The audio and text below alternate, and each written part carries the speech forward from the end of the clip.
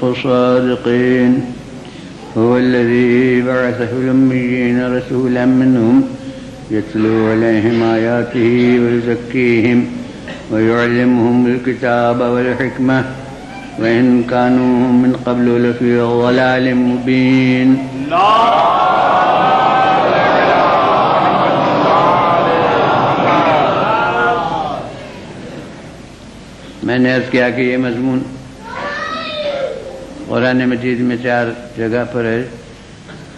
तीन महल जगह हैं ऐसी जो इससे पहले हैं। और ये चौथी जगह है, मगर महल इस मजमून का जहाँ जो है, उसमें बड़ी ख़ास खसूसियत है। वो ये कि औसाफ इलाही से सूरा शुरू हुआ है। और अल्लाह के औसाफ में ये बताया जा रहा है कि वो वो है जिसने उम्मीन में रसूल भेजा उन्हीं में से। जो उनके सामने आया तो इलाही की तिलावत करता है और उन्हें के नफूस को सुधारता है, पाक करता है और उन्हें किताब और हमत की तालीम देता है, अगरचे वो इसके पहले खुली हुई गुमराही में तो अब उस रात की बुलंदी और रिफात और उसकी शान को क्या बयान किया जा सकता है कि जिसे सामने लाकर, जिसे पेश करके अल्लाह अपने अजमत जलाल और अपने रिफत शान का अंदाज़ा कराए? सलावाद भेजिए।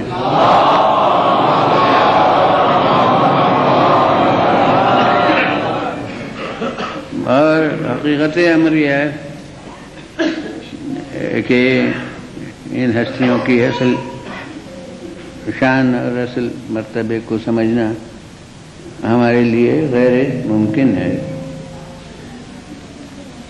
और इसके लिए मैं एक अकली उसूल आपके सामने पेश करता हूँ।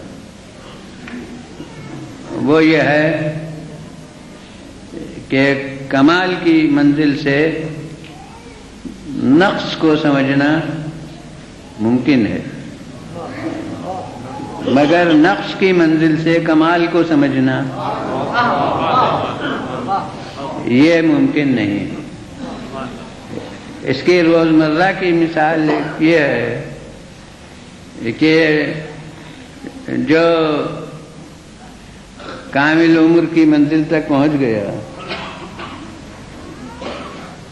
पीढ़ी के दौर तक आ गया वो जानता है कि जवानी क्या थी और जवान जानता है कि बचपना क्या था। लेकिन बच्चा सही तस्वुर नहीं कर सकता कि शबाब क्या होगा।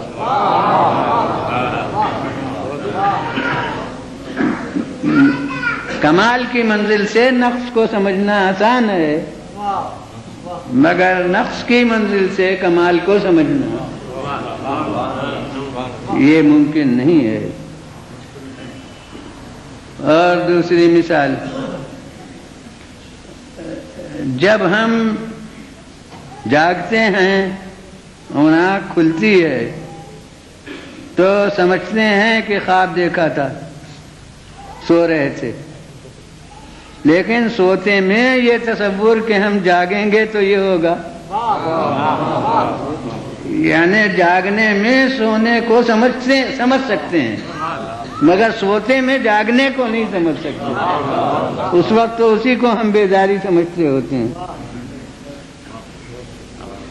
और अब मौजू वो नहीं है, मगर जिमनन कह दूँ कि जैसे इस आलम ख्वाब में हम इस बेदारी की हकीकत नहीं समझ सकते। उसी तरह इस दार दुनिया की बेदारी में आखिरत के दौर की बेदारी को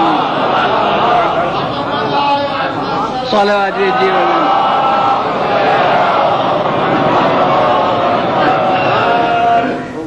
फिर बुलंद आवाज़ से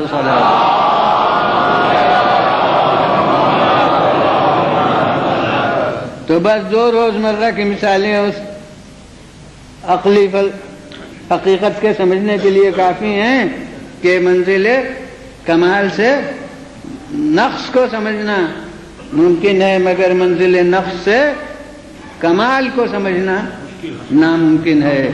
इंसान जा, जानता है कि जमादात क्या हैं नबातात क्या हैं हैवान क्या है और फिर इंसान किसी हद तक समझता है कि क्या है। लेकिन जमात नहीं जान सकता कि नबातात क्या हैं और नबातात नहीं जान सकते कि हैवान क्या है और हैवान नहीं समझ सकते कि इंसान क्या है और आम इंसान नहीं समझ सकते कि नबी क्या है। और अब मैं कहता हूँ कि आम अंबिया नहीं समझ सकते कि खातिमुल अंबिया क्या है।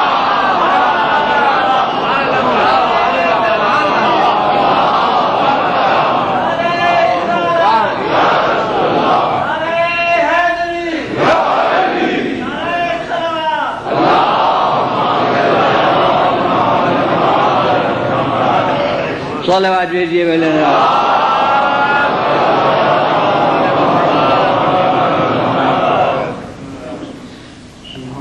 अब कोई मुझसे कह सकता है कि जब ये साबित हो गया है, अकली उसूल भी है और उसको यहाँ मिसालों से भी साबित कर दिया गया कि हम समझ नहीं सकते उस मंजिल को, बल्कि यहाँ तक हो गया कि हम अम्बिया नहीं समझ सकते, खातिमुल अम्बिया की मंजिल को।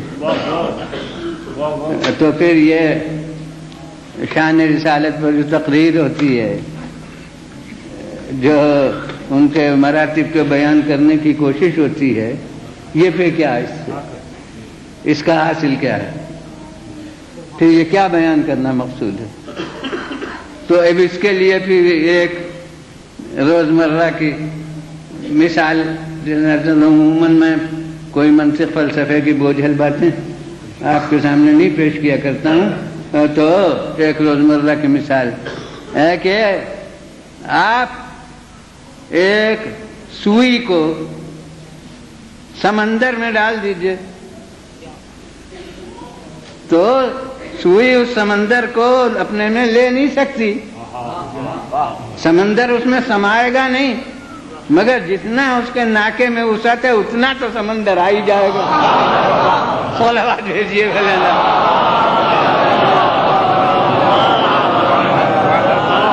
फिर भले आवाज़ से सोलह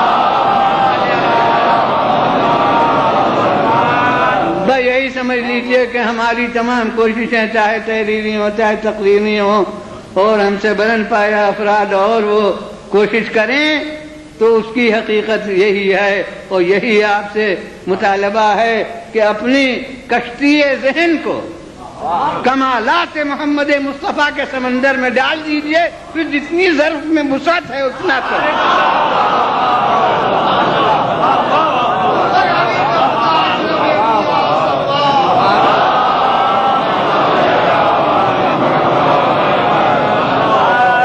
सलावाद भेजिए बोलेंगे फिर बोलेंगे आवाज़ से सलावाद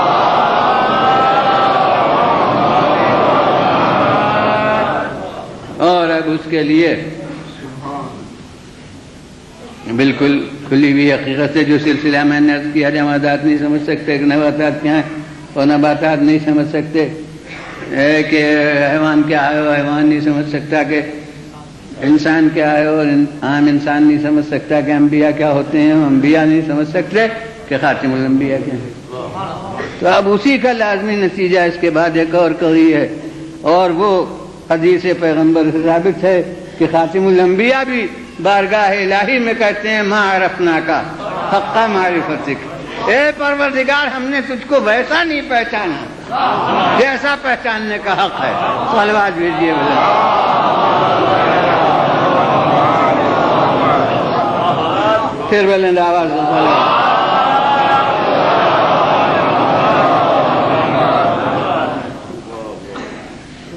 तो वो फरमा रहे हैं और बारगाह इलाही में अर्ज़ कर रहे हैं कि हमने तुझको वैसा नहीं पहचाना जैसा, पहचानना चाहिए। मगर फिर भी ये एक दीनी हकीकत है कि मारिफत इलाही हासिल करना हर बंदे पर वाजिब है। हर बंदे को लाजिम वाजिब है। फरीजा है उसका कि वो मारिफत इलाही हासिल कर ले। तो अगर जब नामुमकिन बात है तो हुक्म कैसा है? तो हासिल करो। तो बस हुक्म उतने का है जितना मैंने कहा मुमकिन है। और जो हक है, उसे रसूल कह रहे हैं कि नामुमकिन। सलावाद भेजिए बल्ला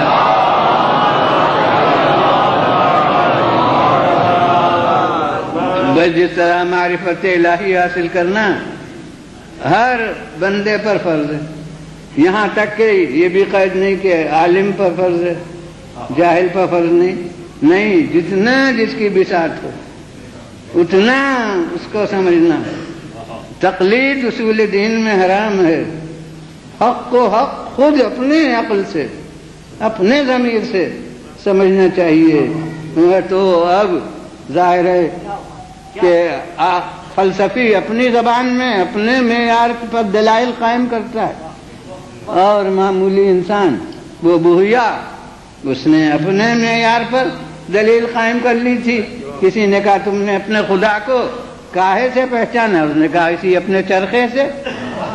जब तक मैं चरखा चलाती रहती हूँ, चलता रहता है। इधर मैं रुकी और चरखा रुक गया तो ये जरा सा चरखा तो बगैर मेरे चलता नहीं और ये कायनात का चरखा बगैर किसी चलाने वाले सोलह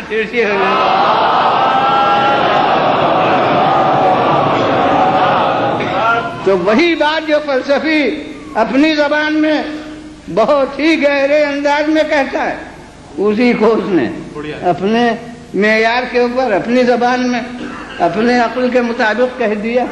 तो इसलिए वहाँ मारिफत इलाही जो हासिल करना वाजिब है, वो ये नहीं है कि वो जाहिल अरस्तु वाले दलाइल से मारिफत हासिल करे, अफलातुम वाले दलाइल से मारिफत हासिल करे।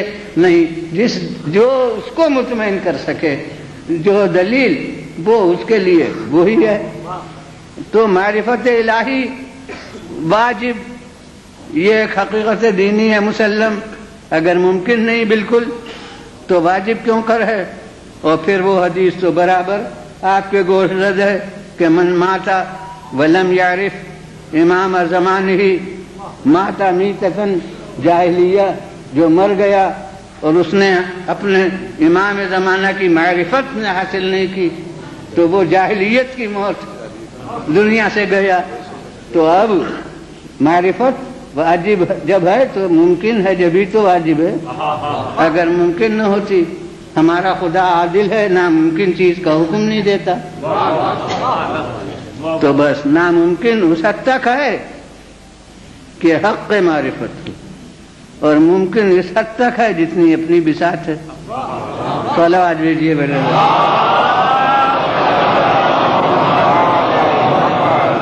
फिर बेले आवाज़ से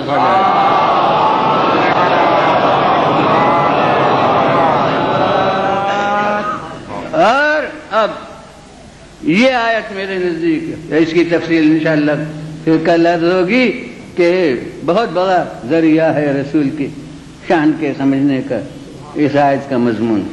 क्योंकि खुदा की भी मारिफत हम हासिल करते हैं तो उसके आसार कुदरत कामों को देख के ये समझने की कोशिश करते हैं कि वो जात कैसी है, जो ये सब काम अंजाम दे रही है।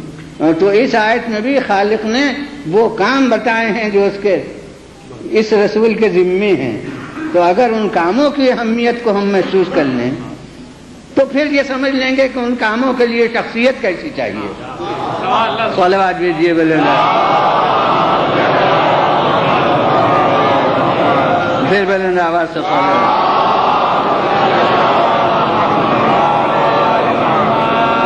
लेकिन वो तो मैंने वादा किया है कल बयान करने का, क्योंकि वो सिलसिला कामों का आगे शुरू होता है। अभी पहले तो वो काम काम को, का बयान तो एक सिफत के तौर पर है कि ये करते हैं, ये करते हैं, ये सब सिफतें इनकी, और मौसूफ उनका क्या है? इरशाद हुआ, बासा उसने भेजा, उम्मीन में एक रसूल। तो रसूल मौसूफ है, और उस रसूल की ये सब सिफतें हैं कि ये रसूल ऐसा है, ये काम अंजाम देता है, ये काम अंजाम देता है, ये काम अंजाम देता है, वो सब फहरिस्त बात को है। तो वो पहली लफ्ज है रसूलन, कि उसने भेजा एक रसूल। अब ये रसूल ही की लफ्ज में क्या रिफतें मुजमर हैं? वो सिफतें बात को हैं। उन कामों पर और बात को होगा पहले। रसूल के तहत में, लफ्ज रसूल में क्या बुलंदी मुजमर है? उसको देखिए। रसूल, अरबी की लफ्ज। हम समझते हैं कि ये एक मज़हब, मजहबी मनसब, उहदे का नाम है, मगर नहीं, ये आम लोगत के जो माने हैं, रसूल के, वो बहुत सी लफ्ज इसकी आपकी उर्दू का जुज बनी हुई मसलन मुरसिल और मुरसा ले ले मुरसिल भेजने वाला मुरसा ले ले जिसकी तरफ़ भेजा जाए। अरबी में मसदर उसका इरसाल है, इरसाल के मानी भेजना। और जो भेजा जाए, वो मुरसल आवाम गलत कर मिसरा पढ़ते हैं कि जब अहमद मुरसिल न रहे। वो मुरसिल तो अल्लाह है। वो सही है अहमद मुरसल। जो भेजने वाला हो वो मुरसिल, जिसे भेजा गया हो, वो मुरसल।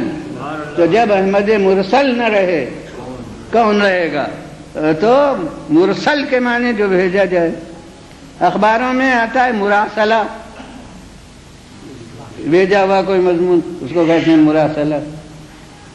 तो अब इसको चाहे फारसी में कहिए फिरिस्तादन, चाहे उर्दू में कहिए भेजना, चाहे अंग्रेज़ी में जो लफ्ज है वो कहिए। किसी भी लफ्ज में इसको अदा कीजिए भेजना। तो भेजने में लाजमी एक चीज़ है, लाजमी एक शर्त है, वो ये कि भेजने वाले में और जिसकी तरफ़ भेजा जा रहा है, उसमें फासला जब तक न हो, उस वक्त तक भेजने का तस्वुर ही नहीं हो सकता। मेरे पास कोई एक साहब बैठे हैं तो मुझे कोई चीज़ इन तक पहुंचाना है तो मैं दे दूँगा इन्हें। भेजने की ज़रूरत नहीं है, लेकिन वहाँ जो साहब बैठे हैं, उनके पास मुझे कुछ पहचाना हो। तो ज़रूरत है कि भेजा जाए। तो भेजने में लाजमी तौर से एक फासले की ज़रूरत है। उसमें जो भेजने वाला हो और उसमें जिनकी तरफ़ भेजा जा रहा है। अगर फासले का तस्वुर न कीजिए तो भेजने का तस्वुर हो ही नहीं सकता। मगर यहाँ भेजने वाला है अल्लाह। और जिनकी तरफ़ भेजा जा रहा है वो है अखलाक, मखलूकत, इंसान अफराद इंसानी। भेजने वाला जो है, वो किसी जिहत मकान में मुकैद नहीं है। वो ला मकान है। कुरान मजीद में कहा गया, वो रब गर्दन से ज़्यादा करीब है। वो तीमारदार जो मरीज़ के पास बैठे हैं, सीने पर हाथ है, नब्ज देख रहे हैं, नफस की आमद शुद्ध महसूस कर रहे हैं आलम इंतज़ार में। कुरान कह रहा है, नहन अकरब मिनकुम वला किल्ला तुबसरून। हम तुमसे ज़्यादा उससे करीब हैं, मगर तुम देखते नहीं हो। तो अब बताइए, जो ऐसी लामकान जात है, उसके यहाँ दरमियान में फासले का क्या तस्वुर?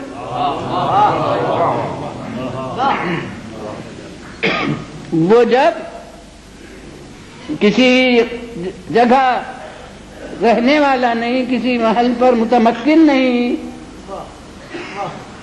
तो फिर कहिएगा कि वो हज़ार मील दूर है, दस हज़ार मील दूर है, कितनी दूर है? जो कहिएगा गलत होगा। क्योंकि जब वो किसी जगह पर है ही मुकैद नहीं है। वो नफ्स की मिसाल कल मैंने लामकान होने में दी थी कि है मगर कहीं पर नहीं है, और तो जब वो लामकान रात है तो दरमियान में फासले का तस्वुर कैसा? दूरी का तस्वुर कैसा? और अगर दूरी का तस्वुर ना हो तो भेजने का तस्वुर कैसा? अब देखिए ये उम्र में कितनी दफ़ा अशद मोहम्मद रसूलुल्लाह कहा और ईमान रिसालत पर ज़रूरी है, लेकिन अब रिसालत के मानी समझना मुश्किल हो गए कि रिसालत के मानी क्या क्या मानी? अल्लाह ने भेजा बासा फ़िल्म रसूलन बास के भी मानी भेजना। और रसूल के भी मानी जो भेजा जाए, उसने भेजा मुरसलीन में उम्मीन में एक रसूल, उन्हीं में से तो जनाबे वाला, ये तो मुअम्मा हो गया कि ये भेजना क्यों कर है भेजने का मतलब यह है कि वो हमसे बहुत दूर है। जब ही तो भेजता है। और जब वो किसी मकान पर मुकैद नहीं है तो दूर कहना उसे गलत है। और जब दूर कहना गलत है तो भेजना गलत है। तो फिर रसूल को रसूल कहने के क्या मानी? फिर रसूल को भेजा, इसके क्या मानी? इसका क्या मतलब? तो अब ये मुश्किल बात हो गई। मगर मैं कहता हूँ कि मुश्किल ये आसान हो जाएगी। अगर अपनी एक बात के मानी समझ लीजिए। वो अपनी एक बात क्या है? इबादत में नियत ज़रूरी है। कोई भी इबादत हो नमाज़ हो रोजा हो हज हो अरे फिर नमाज़ के लिए वज़ू हो गसल हो कुछ हो जो भी इबादत है उसमें नीयत लाजमी और नीयत का लाजमी जुज क्या है? कुर्बतन अल्लाह अल्लाह से करीब होने के लिए। ये मानिए नाम बदलते जाते हैं। वज़ू करता हूँ कुर्बतन अल्लाह रोजा रखता हूँ कुर्बतन अल्लाह नमाज़ पढ़ता हूँ कुर्बतन अल्लाह हज करता हूँ कुर्बतन अल्लाह वो नाम इबादतों के बदलते जाते हैं, मगर कुर्बतन अल्लाह की रूह सब में शरीक है। ये भी है कुर्बतन अल्लाह और अगर कुर्बतन अल्लाह नहीं है तो नुमाइश है इबादत नहीं। जितना भी वज़ू में होता है, सब कर लिया। जिस फिका के लिहाज से किया। चाहे इस तरह किया, चाहे इस तरह किया, कुछ किया। जो जो होता है, मसासर का जिस तरह करना था, उस तरह किया। चाहे इस तरह कर लिया, चाहे हेर फेर के साथ किया, बहर। सब कुछ वो किया जो वज़ू में होता है। मगर कुर्बत लल्ला नहीं था। तो जनाब सफ़ाई हो गई, मगर वज़ू नहीं हुआ।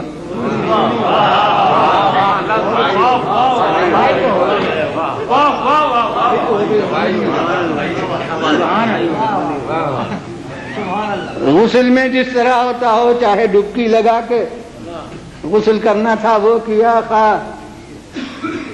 डालकर डोल या लोटे अपने ऊपर उस तरह गुसल किया, कुछ भी किया।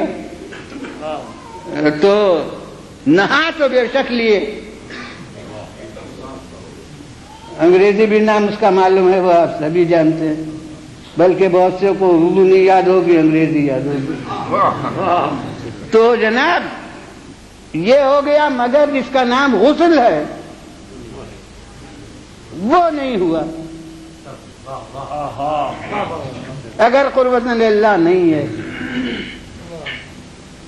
जो जो नमाज़ में होता है सब कर लिया, और बहुत ही बजाहिर रुजुए कल्ब से किया। निगाह जहाँ रहना चाहिए, वहीं रही। हाथ जिस तरह रहना चाहिए, उसी तरह रहे। रुकू, सज्जा सब बड़ी उमदा तरीके पर। हो गया मगर कुर्बत अल्लाह नहीं हुआ। तो सरकार वाला उठा बैठी हो गई। झुकाव हो गया रुकू का। सजदे में ज़मीन पर जो अमल होता है, टक्कर लगा ली। लेकिन जिसका नाम नमाज़ है फलात है, वो नहीं हुई। सब चीज़ें माह रमज़ान में तर्क की। मगर कुर्बत अल्लाह नहीं था। तो फाका हो गया। रोजा नहीं हुआ। जो जो हज में होता है सब कर लिया। वहाँ पहुँचे भी और जो जो बातें उम्र भर नहीं की थी, कैसे रियाजत से बाल रखे थे, मगर वहाँ जाके खत्म कर देना पड़े। और जनाब, जो कपड़े कभी नहीं पहने थे, वो कपड़े वहाँ जाकर पहने, सब कुछ वही हुआ, मगर कुर्बत नहीं हुआ। तो बेशक सियाहत हिजाज हो गई। सफ़र मक्का हो गया। तिजारत अगर करना हो तो हो गई। सियासत का कोई मकसद हो तो हो गया। मगर जिसका नाम हज है, वो नहीं हुआ। मालूम हुआ कि इबादत की असल रूह है कुर्बत और कुर्बत के मानी क्या है? अल्लाह से करीब होने के लिए। इस करीब को समझ लीजिए तो उस दूर को समझ लीजिएगा।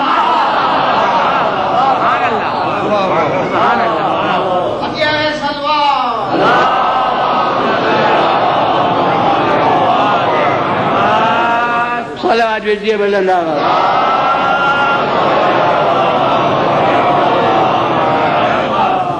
फिर बुलंद आवाज़ से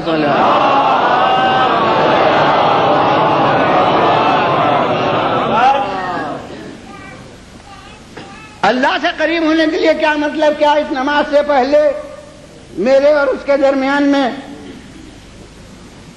एक हज़ार मील का फासला था? और जब ये नमाज़ पढ़ लूँगा तो नौ सौ निन्यानवे मील रह जाएँगे। एक मील वो इधर आ जाएगा या मैं उधर चला जाऊँगा? क्या मतलब? कुर्बतें ले ला लीजिए, अब वो रसूल तो कभी कभी कहते थे कुर्बत अल्लाह रोज कहते थे।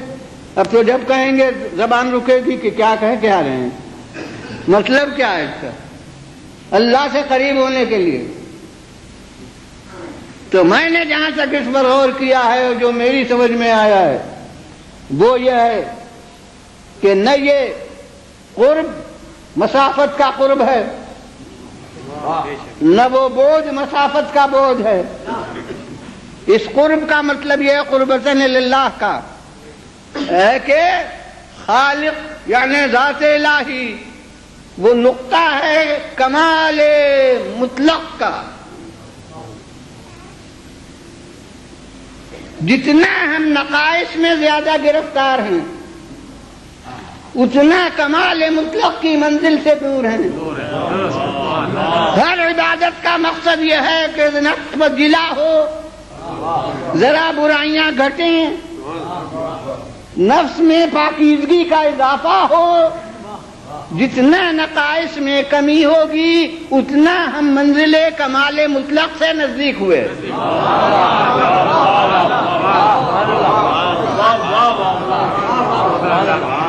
इबादत हो जाती है थोड़े वक्त में, और अगर सही तौर पर इबादत भी तो असर अपना मुस्तकिल। एक छोड़ जाती है। कुरान मजीद ने कहा इन सला तनहा अनिल फहशा मुनकर। नमाज़ जो है वो बुराइयों से और शर्मनाक कामों से रोकती है। नमाज़ रोकती है, यानी कैफियत नफ्स में पैदा करती है कि आदमी फिर इन बुराइयों की तरफ़ न जाए। वो नमाज़ तो हो गई, बड़े रुजु कल से, बड़े खुशबू खुशबू से, बहुत ही तजवीज के, किरत के साथ भी तो फ़र्ज़ कीजिए कि पंद्रह बीस मिनट में हुई और किसी की नमाज़ पाँच ही मिनट में हो गई। यूँ कह सकते हैं, जितना अजबर ज़्यादा याद हुई, उतना जल्दी से हो गई। तो नमाज़ हो तो गई इतने वक्त में। लेकिन अगर वो वाकई नमाज़ है तो असर नफ्स में जो छोड़ गई। वो नमाज़ खत्म होने के बाद भी बाकी है। अब अगर हम देखें कि हमारा नमाज़ गुजार, उसी वक्त नमाज़ पढ़ता है और उसी वक्त जाके मस्जिद के किसी जखीरे पर नज़र जाती है उसकी। तो हुजूर वाला जिसने ये नुस्खा तजवीज किया है उसने असर ये बताया था कि ये बुराइयों से रोकता है।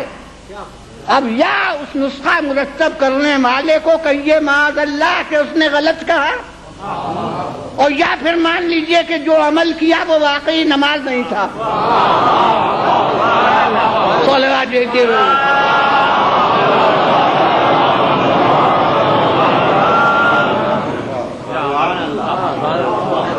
वो कोई नुमाइशी चीज़ थी। उसका नाम नमाज़ नहीं है। रोज़े को यही कहा कि कुतिबा अलैकुम कमा कुतिबा मिन कबलिकुम लअल्लकुम तत्तकून। तुम्हारे ऊपर रोजा फ़र्ज़ है ताकि तुम में तकवा पैदा हो जाए। मालूम है कि रोजा ज़रिया है। वो सुबह से शाम तक में रोज़े का काम हो गया। मगर वो तकवा नफ्स का एक सांचा है जिसमें वो नफ्स को ढालता है।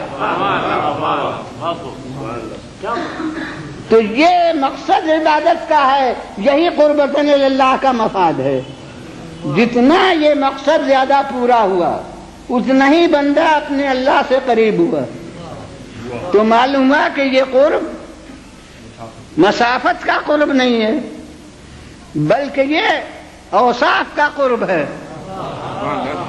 तो उसी तरह वो बोझ, वो दूरी, वो भी औसाफ की दूरी है। यानी खल्क खुदा जितना गुनाहों में ज़्यादा मुबतला है, जितना जहालतों में ज़्यादा मुबतला है, जितना बुराइयों में ज़्यादा गिरफ़्तार है, उतना ही मंजिल कमाल, तहारत और अजमत से दूर है। लिहाजा जब दूर है तो भेजने की ज़रूरत है। अब भेजने का सब्र हो गया, दूरी भी समझ में आई। मगर अब एक पहलू पर हर मकतबे ख्याल का मुसलमान गौर करे, एक पहलू पर हर नुक़ नज़र का इंसान जो रिसालत का कायल हो, वो गौर करे एक जो भेजा जाए, उस दूर वाले की तरह भेजना है मुझे। तो जो भेजा जाए, वो भेजने से पहले उसके पास होगा जिसकी तरफ़ भेजा जा रहा है, या उसके पास होगा जो भेजने वाला है।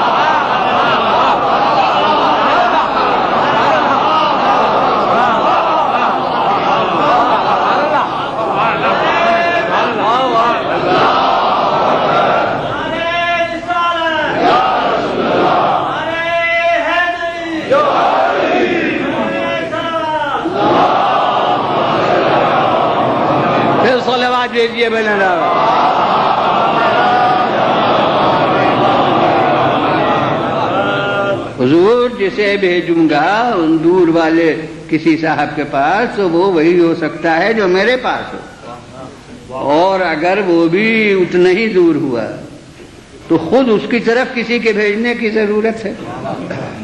उसे भेज कैसे सकता हूँ? लिहाजा जो भेजा जाएगा, वो भेजने वाले के पास होगा। तभी भेजा जाएगा। बगैर इसके भेजा नहीं जा सकता। और यहाँ दूरी है और साफ़ की दूरी। तो मानना पड़ेगा कि जिन गुनाहों में खलक खुदा गिरफ़्तार है, जिसकी वजह से वो खालिद से दूर है, वो जात जिसे वो भेजता है, वो भेजे जाने से पहले उन बुराइयों से बरी होगी। नकायत से अलग होगी। तभी वो इस लायक है कि भेजा जाए।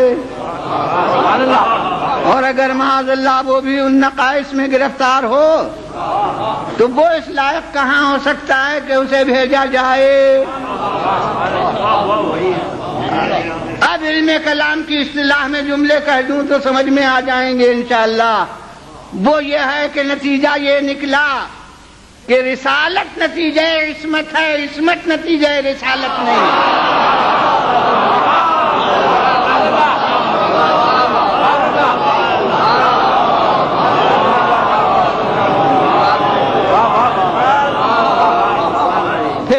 फिर बोले आवाज़ से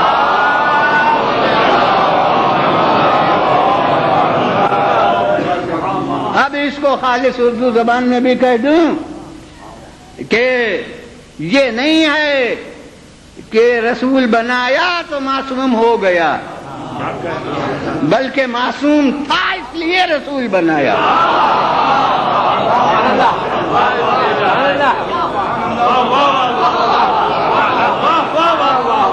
फिर सलावाद भेजिए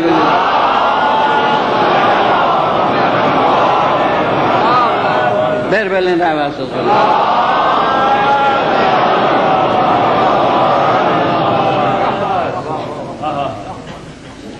मगर वो हमारा इल्म है जो तजुर्बे का मोहताज है। यानी हम किसी को दस बीस बरस आजमा के देखें कि ये सच्चा है या नहीं? तब हम समझ सकते हैं कि आदमी सच्चा है। हमारा इल्म मुहताज तजुर्बा है। लेकिन ये रिसालत का आता करने वाला जो है, ताज रिसालत पहनाने वाला जो है, उसका इल्म मुहताज तजुर्बा मुशाहदा नहीं है। कि पहले कुछ अरसे तक वो देखे कि मासूम है या नहीं। और जब थोड़ी मुद्दत तक देख ले कि मासूम है तब उसके बाद वो रसूल बनाए ये हमारे हमारे हम ऐसा करने वाले मनसब के होते तो यही होता मगर किसी मनसब को दुनिया ने अपने हाथ में लिया हो बहरहाल रिसालत को किसी ने अपने हाथ में नहीं लिया वहाँ जमहूरियत का कोई कायल नहीं हुआ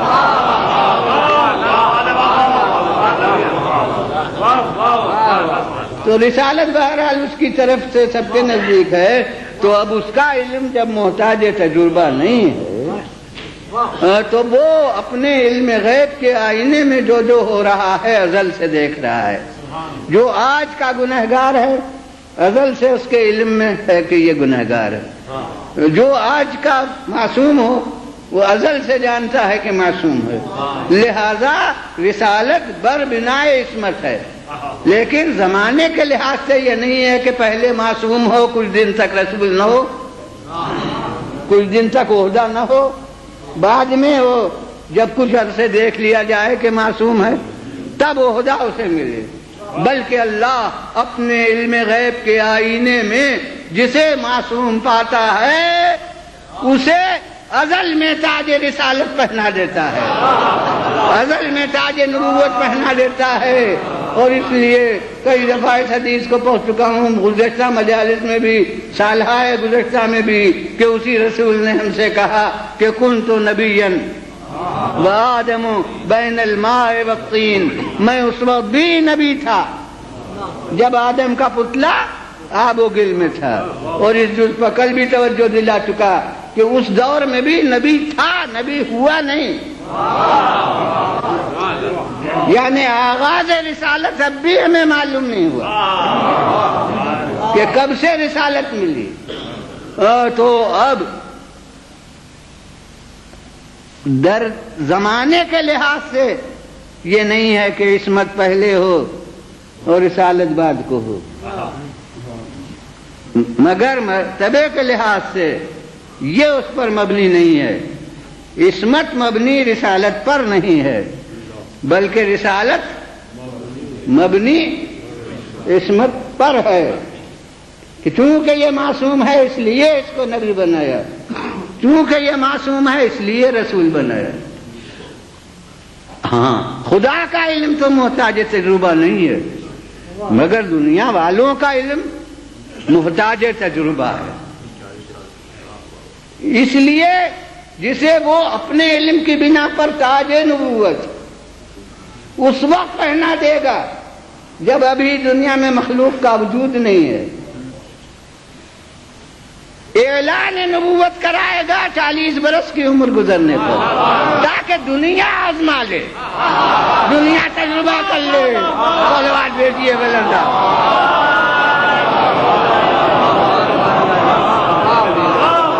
फिर बोले आवाज़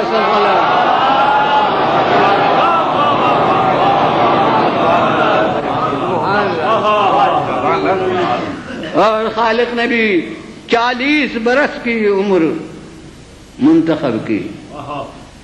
अब ये इल्मुल इंसान की मसला समझ लीजिए, इल्मुल इमरान का समझ लीजिए, इल्मुल के चालीस बरस की उम्र उसने मुंतखब की। इसलिए कि इसके कबल की का दौर है हयात। तलबुनात तगयुरात का होता है। बहुत से नक्श अच्छे शौकिया बनते हैं और मिट जाते हैं। बहुत सी आदतें पहुँचती हैं और छुट जाती हैं। लेकिन 40 बरस की उम्र वो है जिसमें ठहराव नफ्स इंसानी में पैदा हो जाता है। जिसमें हर आदत मलिका बन चुकती है तो 40 बरस की उम्र मुंतखब की कि देखो तुम्हारे मुशाहदे में 40 बरस जो सच्चा रहा तुम्हारे मुशाहदे में 40 बरस जो अमीन रहा वो अब ऐलान रिसालत कर रहा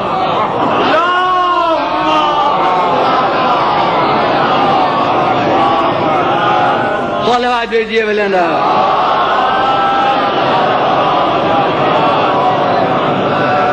बलेंदा आवाज़ सलवा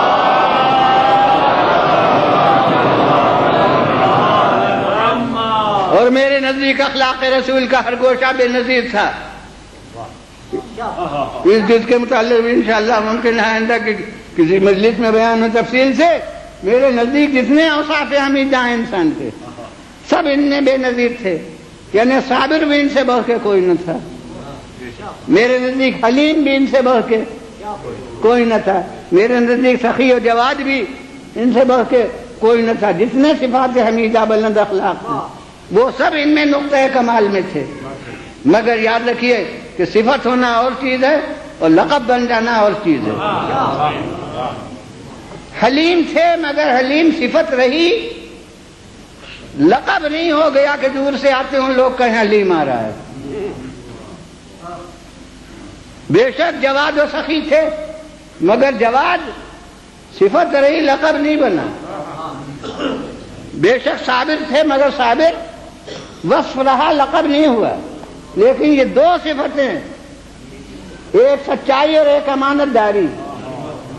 ये इतनी नुमाया हुई। और बहुत सी लफ्जें पुराने अदब में नहीं थी, अब जदीद अदब में बहुत इस्तेमाल होती हैं। अब सुना सुना है मुझे जदीद अदब की लफ्जें भी, उर्दू में भी बदलती रहती है। तो इसलिए ये लफ्ज पुराने पहले मुझे नहीं आती थी। अब आ गई है कि अभी तो नुमाया मैंने कहा था कि ये दो सिफतें इतनी नुमाया हुई। अब मैं कहता हूँ अपने तरक्की याफ्ता उर्दू में कि सब वस्फ थे मगर ये दो वस्फ इतने उजागर हुए के लकब की हैसियत इख्तियार कर ली। एक सादिक और एक अमीन। यानी अब ये दूर से आ रहे हैं। तो नाम के बजाय लोग कहेंगे सादिक आ रहा है। दूर से आते हैं तो नाम के बजाय कहेंगे अमीन आ रहा है। तो ये दो सिफतें क्यों इतनी नुमाया हुई? मेरी तो ये समझ में आया है कि चूँकि ये दोनों सिफतें दावे में दखल रखती हैं जो सच्चा हो वो झूठा दावा क्यों करेगा? और जो अमीन हो वो पैगाम के पहुँचाने में कतर ब्योत क्यों करेगा?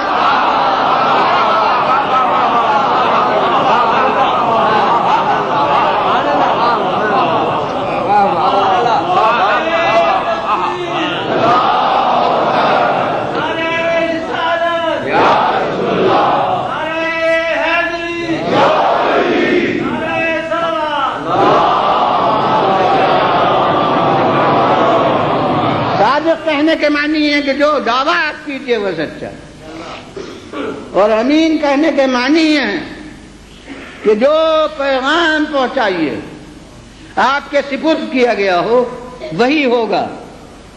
उसमें कोई तब्दीली नहीं हो सकती। इन दोनों को दावे में दखल है। और जब पैगंबर खुदा सल्लल्लाहु अलैहि वसल्लम पहली तबलीग के लिए मेंबर पर गए। मुतफ़ा तारीखी। वाकया है कि बेसत के बाद चालीस बरस की उम्र में मबूस हुए तो तीन बरस तक इख्फा पर मामूर रहे कि घर से, के अंदर से बात बाहर न जाए। अब घर की जितनी पर्दे हैं, वो सब अमानतदार राजे लाही हैं।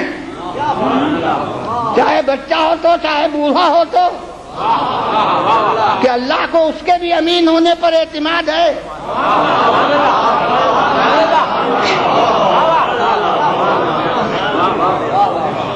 तीन बरस तक घर के अंदर रहे तीन बरस के बाद वो दूसरी मंजिल अशीर तकल अकरबीन। अब अपने जो करीब तरीन अज़ीज़ हैं इन्हें कुरैश के अफराद बस उन तक पैगाम पहुंचाइए जो दावत अशीरा हुई। और उसकी तफसील को इस वक्त नहीं करना है। तो तीन बरस के बाद हुआ। और उसके कुछ अरसे के बाद फिर वो हुक्म आया कि फसदा बेमत उम्र बस अब बरमला अलानिया पैगाम पहुंचाइए। और उसके बाद वो वाक़ हुआ जो अभी पेश करूँगा कि कोई सफ़ा पर तशरीफ़ ले गए वहाँ जाके ऐलान आम किया। मगर अब यहाँ एक पहलू पर मुमकिन है, कभी तवज्जो दिला चुका हूँ, लेकिन वो बाहम है। इसलिए उसको आज भी ज़रूर तवज्जो दिलाऊँगा कि तारीख दावत इस्लामी मुतफ़ा तौर पर यह है कि बात घर से शुरू हुई, तीन बरस तक घर के अंदर रही, फिर घराने तक पहुँची, फिर दुनिया तक पहुंचाई गई। तो अब दिरायतन दुनिया गौर करे कि अब सबकुल ईमान को घर में ढूंढिएगा या दुनिया में?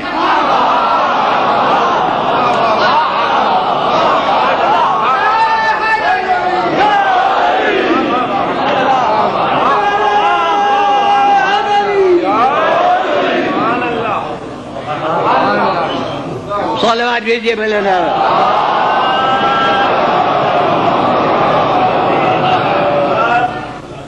गरज है वो तीसरी मंजिल आई। वो कबिल की मंजिलें तफसील से नियत करना है। तो पैगंबर खुदा सल्लल्लाहु अलैहि वसल्लम कोहे सफ़ा पर तशरीफ़ ले गए। जब तक हज को नहीं गए थे तो उस वक्त की बातें समझ में नहीं आती थी। हम जब सफ़ा और मरवा पहाड़ हैं तो पहाड़ से हमारा जहन मालिया की तरफ़ चला जाता था। तो अब सफ़ा पर चले गए तो आदमी कहाँ है वहाँ? अब वो जब जाके देखा तो मालूम वो काबा है और वो दानी तरफ़ सफ़ा है और वो बाई तरफ़ मरवा है और मैं जब गया हूँ तो उसी साल दाइने मेट से वो पहाड़ी उड़ाई जा रही थी और उस साल जीने बन गए थे। अब सुना जीनों के बजाय ढाल बन गई है। तो वो मैं उस पहाड़ की शक्ल में भी चढ़ा था। और फिर उस दिनों की शक्ल में चूँकि डेढ़ महीना पहले पहुँच गया था तो इसलिए उस तरह भी मैंने सफ़ा पर उरूज किया और इस तरह भी सफ़ा की चोटी पर गया दोनों तरह से। अरे अब ये उन लोगों की बात है कि उस पहाड़ को वो आके और जीने बना दिए और फिर जीने को ढाल बना दिया ये सब इज़्ज़त है या नहीं? ये अलग बात है, वो हमारे लिए बिदत का मसला चलता है, वहाँ नहीं चलता।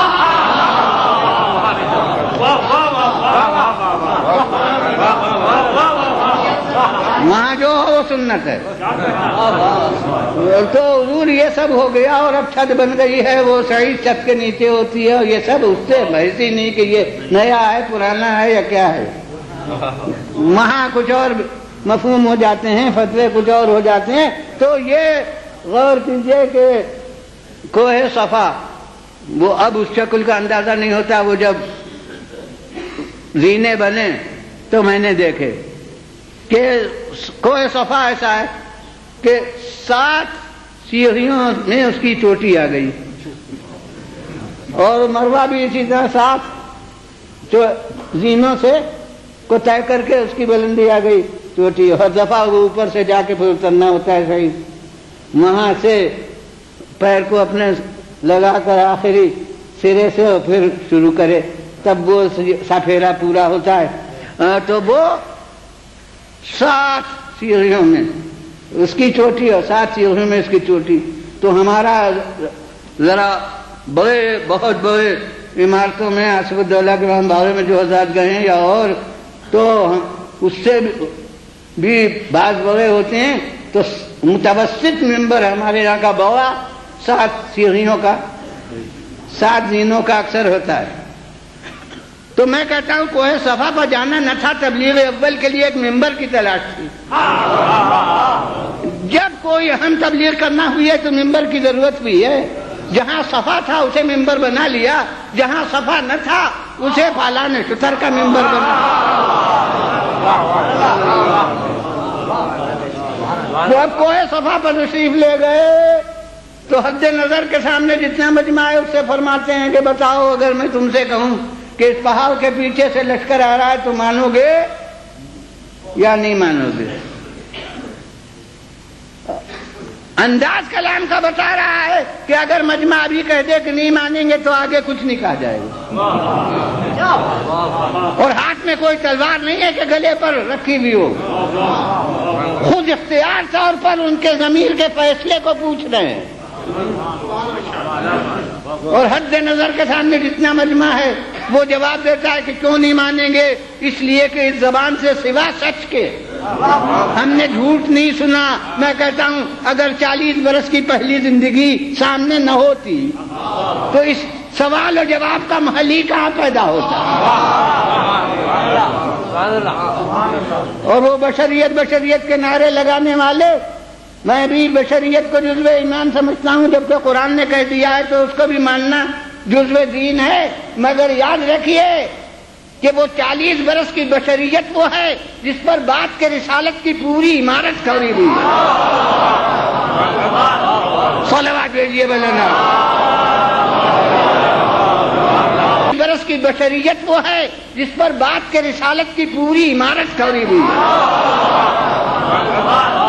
सलवा भेजिए बोलना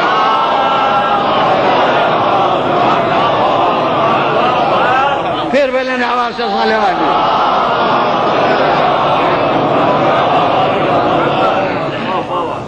सबने कह दिया कि ज़रूर मानेंगे, इसलिए कि सेवा सच के। हमने झूठ नहीं। सुना, जब ये करार ले लिया तब कहा कि मुझे अल्लाह ने रसूल बनाया है और तुम्हारे बदामालिया जो है इसके पर से पूछ आते के दोजख के शोले हैं। अब ये पैगाम पहुँचाया तो फिर अब लोग हँसते हुए चले गए। इसलिए कि अब सवाल अपनी ज़िंदगी में इनकलाब का था, वो बड़ी मुश्किल है। और तो अब मगर कितने हँसते हुए चले जाए। उम्र भर दिल में जमीर से आवाज़ तो उठती रहेगी। अभी कहा था कि क्यों न मानेंगे? अब जमीर के अंदर से कोई कहता रहेगा कि क्यों नहीं मानते?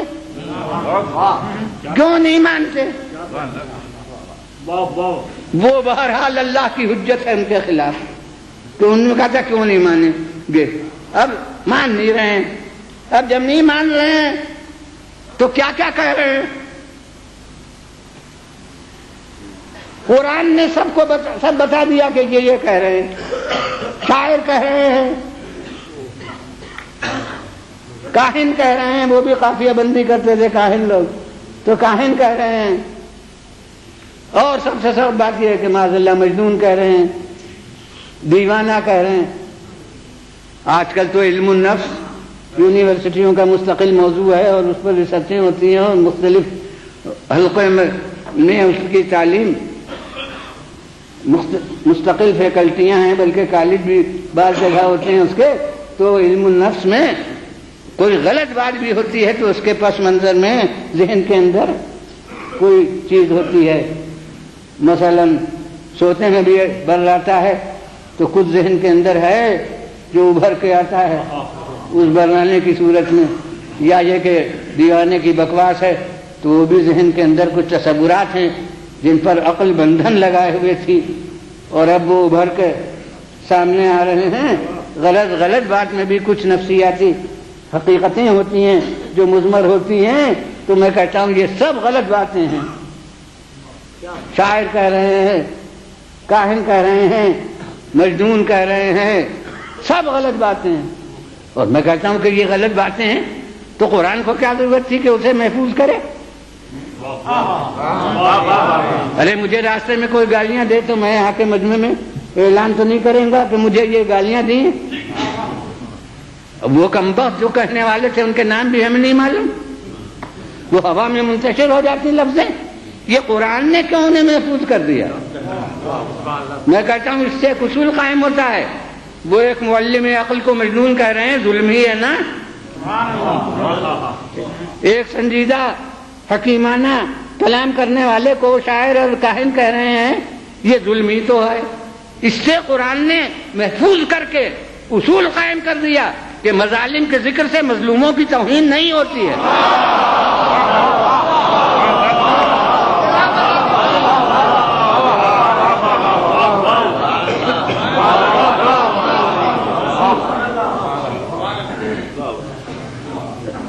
मुझे जिस पहलू पर तवज्जो दिलाना है, हकीकत में वो ये कि आखिर ये सब सोच सोच के कहने की ज़रूरत क्या है?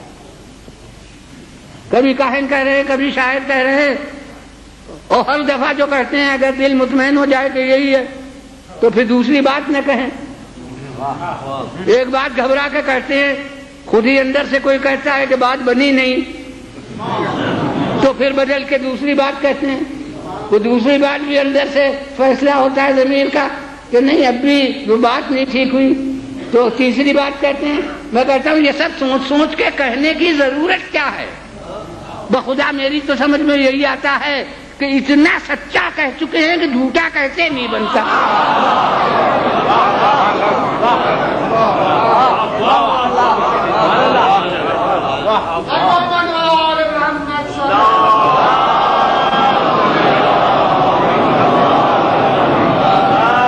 ये है उस सच्चा समझने का।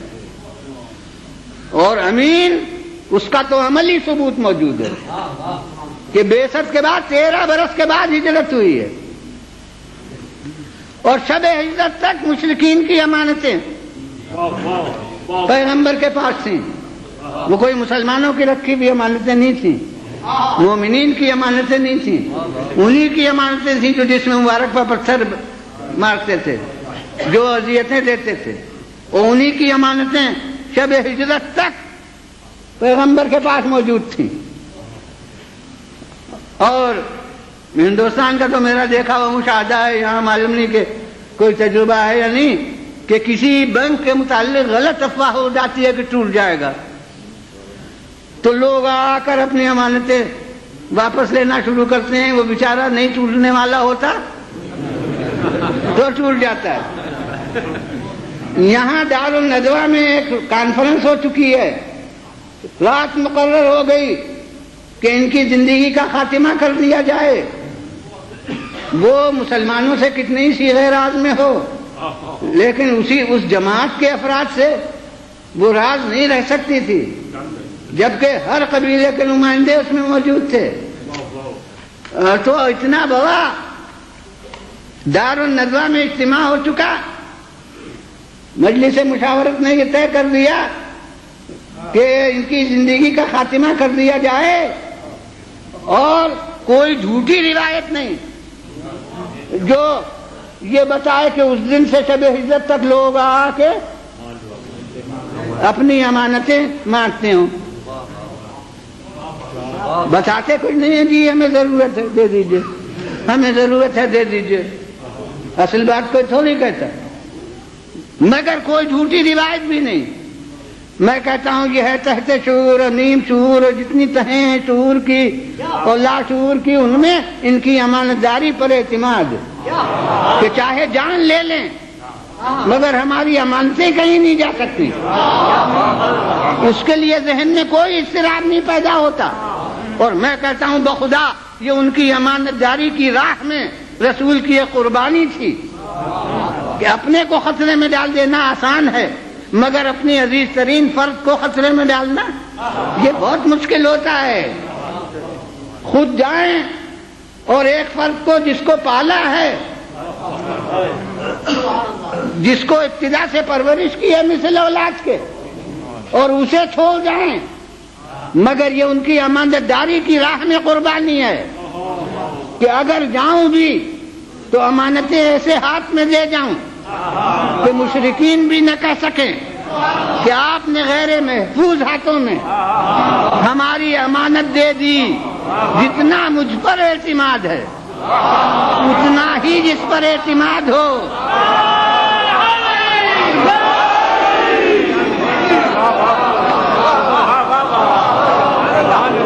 उसे अमानतें सिपुर्द करके जाऊँ। मैं कहता हूँ, अब तमाम मुसलमानों के लिए लम्हे फिक्रिया है कि जो ऐसा अमीन हो कि मुशरकिन की अमानतें बगैर महफूज हाथों में दिए हुए शहर न छोड़े, वो खुदा की अमानतें बगैर महफूज हाथों में दिए हुए दुनिया फिर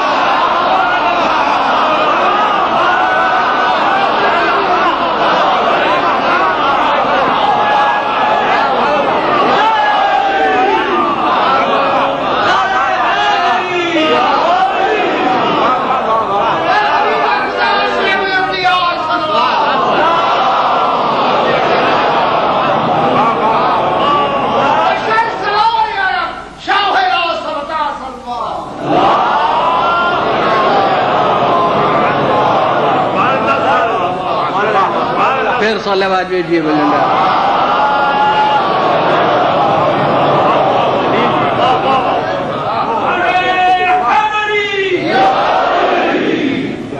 अब सिलसिले से नारे लगा दीजिए जी।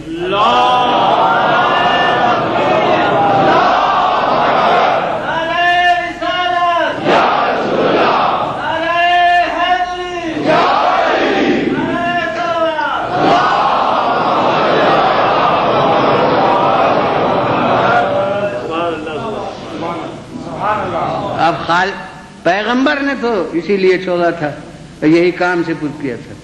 अब ये और बात है बरवक्त जब शहर में तो इसलिए रहे। अब बरवक्त खालिक ने कहा, जब ये रहते हैं तो हम एक काम ले लेंगे। और वो ये कि रसूल के जाने का पर्दा बन जाए। शहर में रसूल ने छोड़ा, अमानतों के लिए वो बिस्तर पर लिटाया, खुदा ने। यानी उन्होंने मुशरकिन की अमानतों का मुहाफिज बनाया।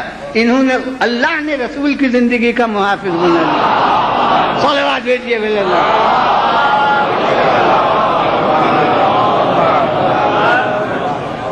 वो फिर खालिद ने बर वक्त ये कह दिया कि इनसे कहो कि ये बिस्तर पर लेट रहे हैं, उसको तफसील से इस वक्त नियत करना है। तो अब उसके लिए बिस्तर रसूल पर लेटे और हुक्म यही था कि लेट रहो। लेट रहे। सोना आदमी के इख्तियार में नहीं होता। लेटना इख्तियार में होता है। तो हुक्म सोने का नहीं हो सकता। लेटने का हुक्म हो सकता है। ये तो नफ्स की कैफियत से मुतालिक है। अगर नफ्स मुस्तरब होगा तो जाग के रात काटेगा। अगर नफ्स मुतमैन होगा तो सो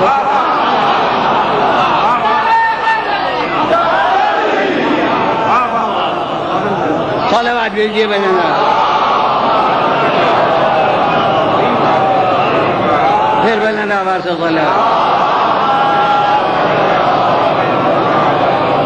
बहरहाल अब ये खामोश फिदाकारी होती। बिस्तर पर लेट कर जो फिदाकारी हुई कि खालिक ने सनद अता फरमाई।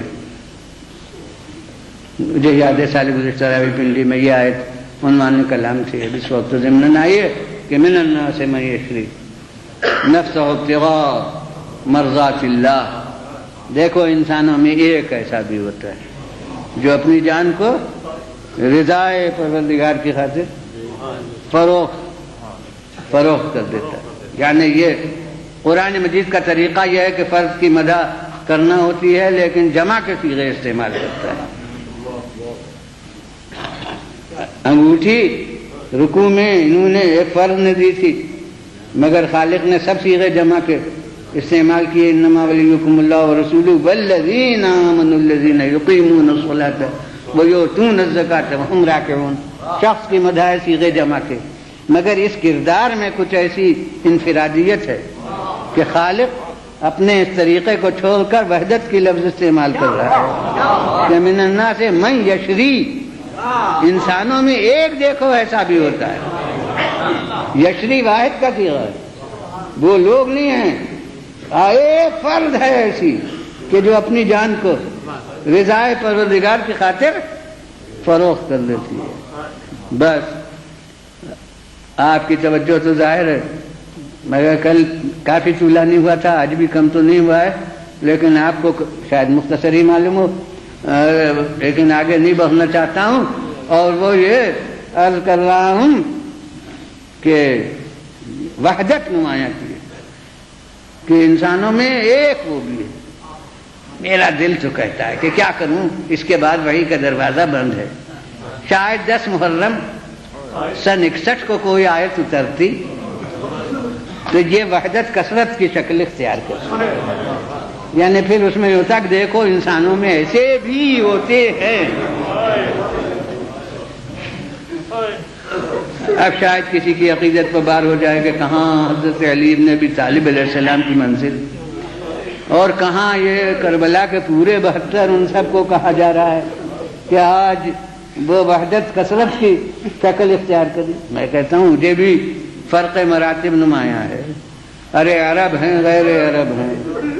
और मासूम तो एक ज़ात है। यानी असर तक के जिहाद में इस्लाही मासूम, वो तो एक है। और बाकी, इस्लाही तौर से हम फहरिस्त मासूमीन में दाखिल नहीं करते हैं। तो ज़मीन आसमान का फ़र्क है, मगर जहाँ तक किरदार करबला का ताल्लुक है। मुझे तो फ़र्क महसूस नहीं होता। और अगर फ़र्क में होता तो हुज्जत खुदा सबको मुखातब करके क्यों कहते? कि बेबी अंतुम मम्मी इब तुम बता बतिल तुम बफुज तुम वल्लाह फौजन अजीमा। मेरे बाप माँ तुम पर निसार। अरे मुजाहिदीन करबला, तुम भी पाक हुए और वो सरजमीन भी पाक हुई, जहाँ तुम दफन हुए। और या लेतनी मासूम अपनी पूरी ज़िंदगी की इसमत समेत कह रहा है कि काश मैं तुम्हारे साथ होता और उस अजीम कामयाबी को हासिल करता जो करबला के मैदान में तुम हासिल कर रहे थे। और हमें भी सिखाया गया है कि जब वाक़ करबला को याद करो। तो कहो कि या लेतना, कुन्ना मैकुम, काश हम आपके साथ होते और उस अजीम कामयाबी में शरीक होते। और मैं कहता हूँ कि इसी में हमारे गिरिए का पस मंजर है। हमें मालूम है कि इस गिरिए के खिलाफ तरह तरह के मनसिकी सवाल पेश होते हैं। कुछ शायराना लिबास में, कुछ मनसिकियाना लिबास में, कुछ नफसियाती लिबास में। तो उन्हीं में से एक है कि ये रोना तो बुजदिली होता है।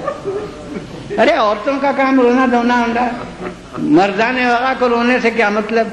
लिहाजा ये रोना बुजदिली है मैं कहता हूँ कि जरा समझ के बात कहिए किसी मारिके में होकर रोना बुजदिली है मगर किसी मारिके में शिरकत पर न रोना किसी में शरीक न होने पर रोना ये ऐने सजात है बखुदा हम करबला के मैदान में होते तो रोते न होते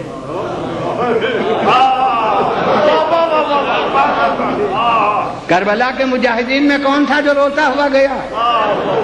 क्या बुरे हमदानी रोते हुए गए? क्या मुस्लिम ने औसजा रोते हुए गए? क्या हबीब ने मुजाहिर रोते हुए गए? क्या फरजंदा ने अकील जाफ़र रोते हुए गए? अरे कासिम भी उस वक्त तक रोए जब तक इजाज़त नहीं मिली। और जब इजाज़त के जिहाद मिल गई तो फिर होते हुए नहीं गए। क्या अब्बास होते हुए गए? क्या अली अकबर होते हुए गए? मौला भी हमारे अजीजों के ऊपर रोए। लेकिन जब खुद मैदान में गए तो दुनिया कहती है कि ऐसा हशाश और बशाश चेहरा था कि किसी जख्मी का हमने ऐसा चेहरा नहीं देखा। तबरी के मौरख में लिखा है कि मैंने किसी को नहीं देखा। जिसके अज़ीज़ मारे जा चुके हों। और वो हुसैन से ज़्यादा मुतमैन।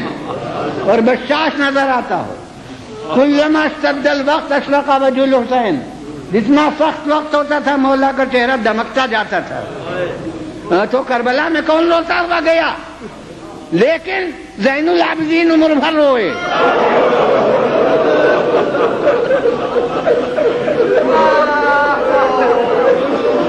अब आप समझे हमारे रोने का मतलब? अब आप इस गिरिए की हकीकत समझे? जैनुल आबदीन उम्र भर रो रहे हैं। और बस ये चीज़ें तो अक्सर बतौर तमहीद मसाइब में बयान होती हैं। मगर मेरे यहाँ वही असले मसाइब होते हैं। और आप अलहमदिल्ला वैसे ही मुसाब हो जाते हैं। जैसा कि मसाइब में होना चाहिए। मैं कहता हूँ कि सईद साजिदीन खुदा का शुक्र अदा कीजिए कि आप जब चाहते हैं, मजलिस कर लेते हैं। अरे, जैनुल आबदीन का दिल नहीं चाहता था कि बाप की मजलिस करें। मगर दौर वो मिला था कि बाप की मजलिस नहीं कर सकते। और जो असल अपने गम के वारिदात है, उसका इजहार नहीं कर सकते। एक दफ़ा मौका हो गया कि जहरी आए। जहरी बड़े मुहदसिन में, अकाबिर उलमा में से हैं। शहाबुद्दीन जहरी, वो आए और बहरहाल दिल के किसी गोशे में अहलबैत से थोड़ी, थोड़ा लगाव था तो इसलिए अर्ज़ करने लगे। हालाँकि बहुत बड़ा इनका दर्जा हुकूमत शाम के दरबार में भी था, मगर कुछ न कुछ दिल के अंदर लगाव था अहलबैत से। कि आकर अर्ज़ किया? कि इमाम इस्लाम के पास कि मेरे यहाँ शादी है। दिल चाहता है कि हजूर मेरी इज़्ज़त अफजाई फरमाए। देखिए, आज तक इसका ऐलान नहीं किया, इजहार नहीं हुआ है। अब वक्त आया तो फरमाते हैं कि जब से बाबा शहीद हुए हैं।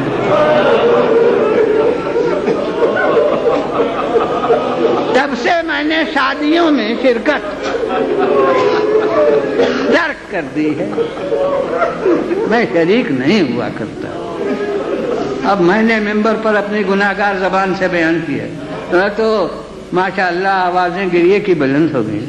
अब जब साहिब अजा कहे तो क्या सोचो गुदार था इस जुमले में? कि अब जहरी की हिम्मत ही नहीं हुई कि इसरार करें। वापस चले गए। मगर वो जुमला दिल में घर कर गया था और वाकई तमन्ना थी कि इमाम मेरे यहाँ तशरीफ़ लाए। तो अब कुछ अरसे के बाद वो आए और कहा, उस दफ़ा मैंने अर्ज़ किया, आपने ऐसी बात फरमाई कि फिर मेरी हिम्मत ही नहीं हुई कि मैं आपसे अर्ज़ करूँ। अब मैंने आपके वालिद बुजुर्गवार की एक मजलिस बर्पा की।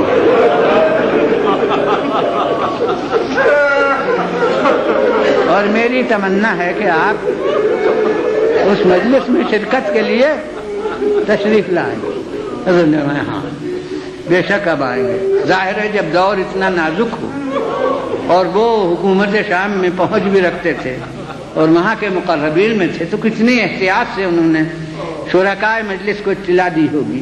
बहुत गिने चुने, खास मुखलसिन अहल बैठ जो थे, उनको उन्होंने फर्दन फर्दन इतला दी, और वक्त मुन पर वो लोग जमा हुए, और इमाम वक्त मुन पर तशरीफ़ लाए उन्होंने सदर मजलिस में हज़रत को जगह दी और वहाँ हज़रत तशरीफ़ फरमा हुए और अब जाकिर मेंबर पर गया। ये हकीकत है कि इब्तदा जाकिरी की अशार से हुई है। तो मुमकिन है कि किसी शायर ने कुछ अशार मरसिया हज़रत इमाम हुसैन के पढ़े हों। उसकी तफसील नहीं है रिवायत में। बहरहाल जाकिर ने अब जरा गौर फरमाइए कि आज जाकिरीन से आप सुनते हैं अक्सर मसाइब में। कि हज़रत सैद आलम मजलिस में तशरीफ़ लाती हैं। और हाथ में रुमाल होता है और रोने वालों की निगाहें देखती हैं, कौन रो रहा है। तो जिस वक्त ये बयान होता है तो एक खास असर मजलिस में पैदा हो जाता है के जाए के आँखों के सामने साहिब अजा जिसे पुरसा देना है,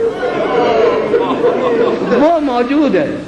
तो नतीजा यह है कि ज़िक्र मसाइब जो हुआ तो अब किसी में होश ही न था कि वो इधर उधर देख। ये देखे कि कौन कहाँ है। जब बयान मजलिस खत्म हुआ और इन्होंने सर उठाया तो देखा कि इमाम वहाँ पर नहीं है जहाँ बिठाया था। अब हैरान हुए, इधर देखा, उधर देखा। तो ये देखा कि सफे न्याज में जहाँ हाजरीन ने जूतियाँ उतारी हैं, वहाँ इमाम तशरीफ़ फरमा है। ये आए कदमों पर सर रख दिया।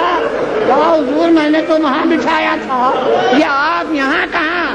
फरमाया, अरे, तुम तो इसी मजमे को देख रहे हो। मैं देख रहा हूँ कि कौन कौन इस मजलिस में शरीक है। तो मैंने अपने लिए जगह यही मुनासिब माशाल्लाह अजरुकुम अल्लाह मैं कहता हूँ कि मजलिस इस तरह से एक हो गई। लेकिन अपनी जात को इन्होंने मजलिस बना लिया। कभी आब वज़ू आया तमीद मजलिस मरतब हो गई। रोना शुरू कर दिया और बस अब इसी वाक़े पर ख़त्म कर दूँगा। कि अब एक दफ़ा कस्साब को देख लिया कि उसने जानवर को रूब किबला लिटाया है, जबा करना चाहता है। फरमाते हैं, अरे भाई, क्या कर रहे हो? क्या वाकई पूछ रहे हैं? नहीं तमहीद मजलिस है। क्या कर रहे हो? उसने कहा, हजूर, जो आपके जैसे बुजुर्गवार रसूल्ला का हुक्म है। जबा करना चाहता हूँ। तो मैं हाँ जानता हूँ। मगर पूछना यह कि तुमने पानी भी दे लिया?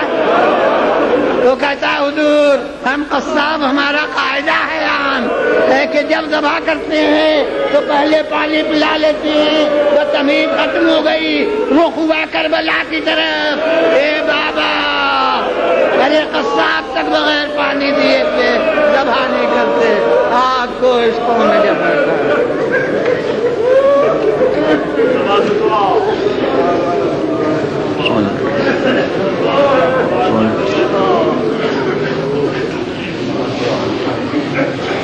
खुदा तमाम हाजरीन के मकासद दीनी दुनिया खुदा हम सबको सिरात मुस्तकीम पर कायम खुदा हमें रसूल, आल रसूल के उसब हसना बचलने खुदा हमारे लिए आखिरत की मंजिल को इस दुनिया से बेहतर कर। जो बीमार होने शिफा से हत अता पर जो मर गए, उन्हें रहमत मगफरत से माला मार खुदा इस अज़ाए कलील को हमसे कबूल